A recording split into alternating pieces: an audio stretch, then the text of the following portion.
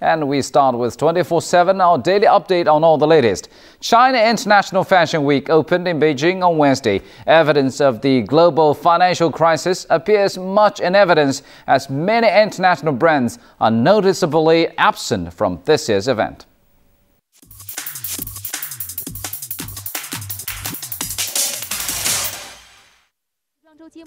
As a continuance of the event's tradition, the opening show was a dazzling mismatch of the latest creations by local designers.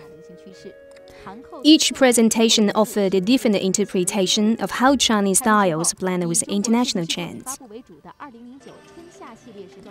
However, compared with last year, fewer overseas brands are displaying collections. The decline comes in the wake of the world financial markets crash. In past events, the shows staged by overseas brands and designers accounted for 20% of the program. This year, that percentage had declined to only 5 to 6%. However, organizers also say an increasing number of up and coming Chinese designers make up for the shrinking overseas representation. China's textile industry has experienced a great transformation in recent years. The one-time world's textile factory is slowly making way for an independent and innovative fashion industry. Some experts conclude vibrant domestic markets will sustain China's burgeoning fashion industry against a global financial crunch.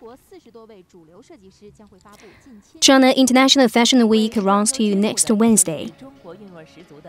罗城 CCTV Now, Cabbeen, the China-based menswear brand, presented its new collection for 2009 Wednesday night. The showing was one of the opening events at China International Fashion Week.